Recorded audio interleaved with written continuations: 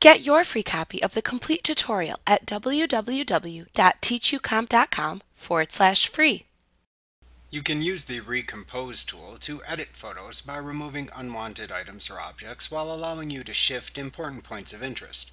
First, select an image that you would like to manipulate, and then choose Image, Recompose from the menu bar or select the Recompose tool from the toolbox. To remove items from the photo, click the Mark for Removal tool in the Tool Options bar. Then adjust your brush size to your liking and set the threshold to control any distortion that occurs when using the tool.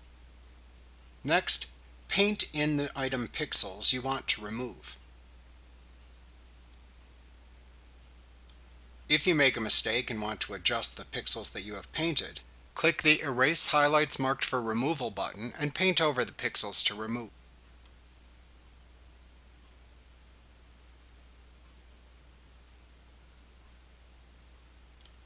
If there are areas of the image you want to be sure to protect during the recompose process so they are not removed or distorted, click the Mark for Protection button in the Tool Options bar.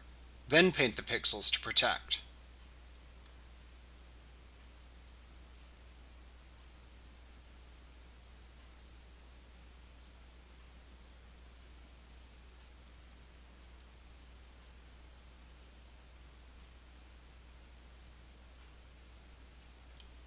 If you want to adjust that selection, click the Erase Highlights marked for Protection button and paint to adjust the pixels.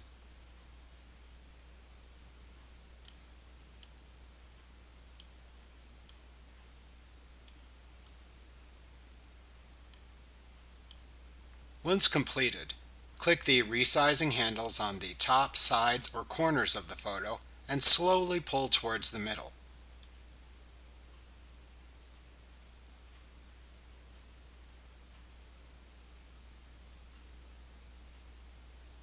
Once the unwanted pixels are no longer in the image, then release the mouse button.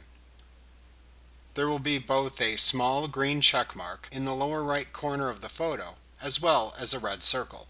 The green check mark will save the manipulated photo, and the red circle will close the image without saving the changes.